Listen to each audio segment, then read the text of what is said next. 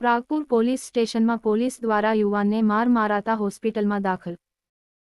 મુન્દ્રા તાલુકાના પ્રાગપુર પોલીસ સ્ટેશનમાં દારૂના કેસમાં પકડાયેલ ઇન્દ્રજીતસિંહ નામના આરોપીને સવારે કોર્ટમાં રજૂ કરવામાં આવેલ અને કોર્ટ દ્વારા આરોપીને જામીન ઉપર છોડી દેવામાં આવેલ.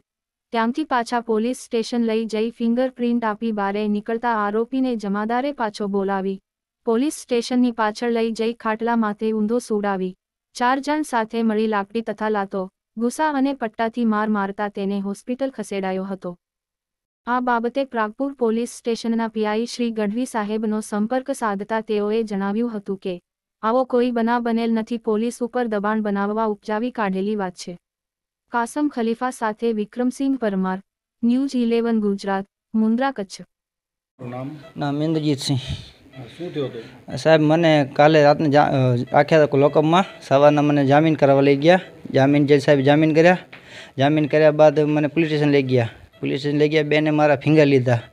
ફિંગર લીધા બાદ મેં બેઠો. પછી મારા ભાઈને ફોન કર્યો, મોટા ભાઈને, કે ફિંગર લીધા. બેને કીધું, તમે જાઓ. તો મારા ભાઈને હું મળવા ગયો. મળવા ગયો, તો ભરતભાઈ જમાદાર બોલાવી, પાછળ પોલીસ સ્ટેશને વાંહે લઈ ગયા. લઈ પાંચ જણાએ મારે ઊંધો ખાટલા પર ઉડાવી અને પટ્ટેથી, લાકડીથી અને તો હાથ પેરથી ગુસ્સાથી માર મારતા કેટલા જણા પાંચ ચાર ચાર જણા.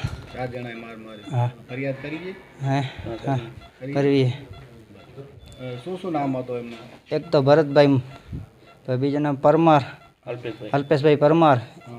કેસર કેસરભાઈ દેસાઈ. અને ચોથા આપણા હિતેશ કાનાડી. ચાર જણા હતા. ચાર જણા થઈ ઊંધો ઉડાવીને માર માર્યો.